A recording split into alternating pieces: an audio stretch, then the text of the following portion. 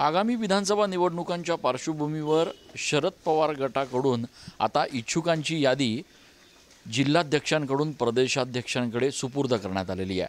आपल्यासोबत शरद पवार गटाचे जिल्हाध्यक्ष कोंडाजी आव्हाड आहेत. मामा नेमकी काय यादी आहे किती इच्छुक आहेत आणि काय यादी सुपूर्द केली आहे? आज जवळजवळ नाशिक जिल्ह्यामध्ये ग्रामीणमधून जो शेहेचाळीस सत्तेचाळीस लोक इच्छुक आहे ते सर्व इच्छुकांचे ड्रॉप आणि यादी मी पार्टी कार्यालयामध्ये सुप्रत केली. त्याच्यानंतर तो अहवाल मी आदरणीय शरदचंद्रजी पवार साहेब त्याचप्रमाणे आदरणीय जयंत पाटील साहेब यांच्याकडे सुप्रत केलेलं सुप्रत केलेलं आहे. एकूणच जिल्हा आणि नाशिक शहर यांच्यामध्ये आपण किती दावा सांगतोय किती जागांवर आपला दावा असणार आहे? बस सहा जागा ज्या पूर्वी राष्ट्रवादीचे आमदार होते त्या सहा जागेवर तर आमचा दावा आहे त्या जागा आमच्या आहेत त्या आम्हालाच मिळायला पाहिजे.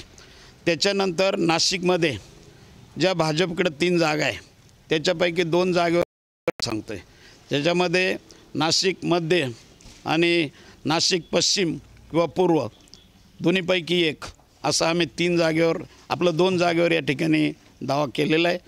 आता वरिष्ठ काय निर्णय घेतील तो मान्य त्याचप्रमाणे इकडं आम्ही ग्रामीणमध्ये सटाणा हे आम्हाला पाहिजे. सटाण्यामध्ये आमचं चांगलं वातावरण आहे. त्या ठिकाणी शंभर टक्के आमचा कॅन्डिडेट निवडून येऊ शकतो.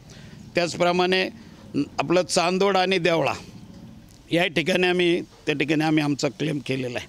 कारण तिथे आमचं कांदापट्टा असल्यामुळे पवार साहेबांना मानणारा फार मोठा वर्ग त्या ठिकाणी आहे. आणि त्या ठिकाणी ती जागा जर आम्हाला सुटली तर आमचा उमेदवार त्या ठिकाणी शंभर टक्के निवडून येऊ शकतो.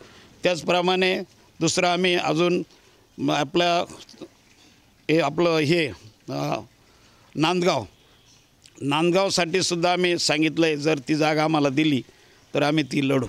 अशा दहा नऊ ते दहा जागावर आम्ही क्लेम केलेलं आहे. म्हणजे जिल्ह्यातल्या सोळापैकी जवळपास नऊ ते दहा जागांवर तुमचा दावा असणार. हो हो. येस आम्ही दहा जागा आम्ही मागतोय.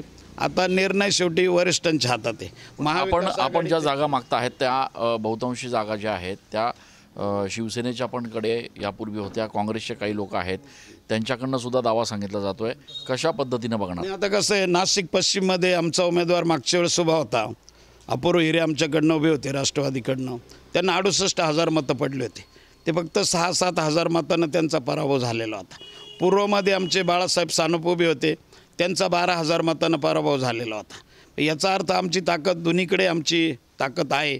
म्हणून आम्ही त्या ठिकाणी क्लेम करतो आहे पण मग जरी जागा आपण मागत असलात तरी किती विश्वास आहे की या सगळ्या जागा मिळतील?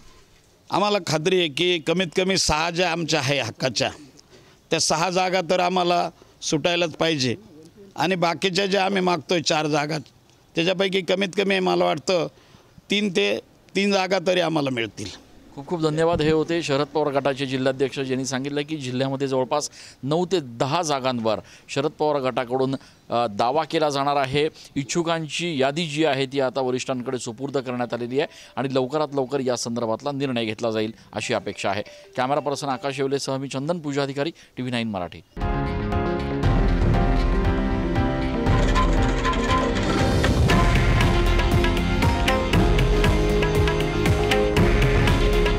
हे आहे देशातील नंबर वन न्यूज नेटवर्क.